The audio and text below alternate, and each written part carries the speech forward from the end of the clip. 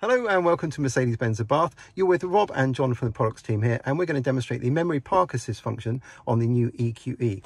So we start off by hitting the recall button and then the parking button. You do have to keep the speed fairly low, but it will record up to 109 meters of the final journey up to your parking space and actually do the maneuvering as well. So just got to keep the speed nice and slow. I'm going to go up a bit here. So where we're going to park is a little bit further down uh, past the C Coupe there and uh, take it in. So the idea of this being that it will memorize the route you take each time and then you can just let the car take over. So this route on the left here is just showing you how far we've gone and then we're going to do a little swing out and then maneuver back in.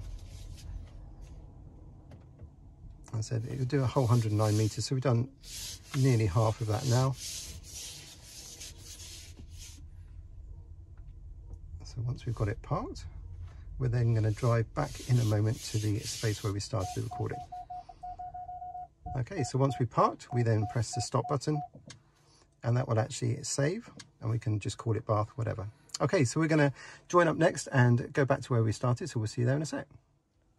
Okay, so we're back now and we're driving towards where we started before and you can see this little maps come up. So all we've got to do is drive towards the start position and then we can let the car take over.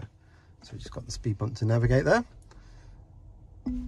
Okay, so stop the vehicle to park and then we can start with the park button and now memory park assist will take over. So we'll let the car take over. So come off the brake, Rob, there we go.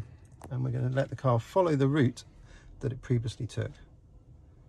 So no input here, Bob is covering the brake for safety purposes and the throttle.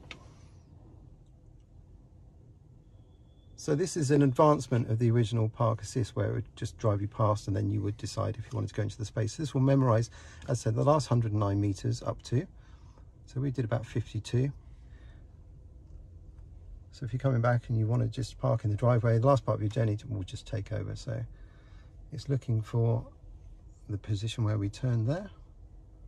Again, no input from the driver at this point. And there we go. So it's just going to do the little swing to the right that Rob did. And again, nothing happening from the driver here. There we go. It's just coming up and you see the red mark there. So that's where it's going to switch into reverse.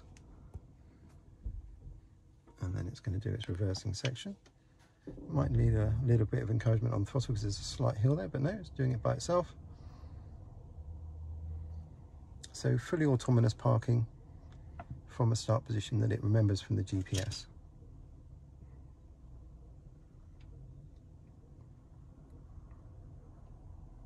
Obviously do keep an eye on your surroundings for safety reasons. It does remind you of that up there. And if there are obstacles in the way, obviously it might be, turns out that someone is parked in that position, it will obviously stop the function. But there we go, successfully parked autonomously by the EQE. Thank you very much for watching.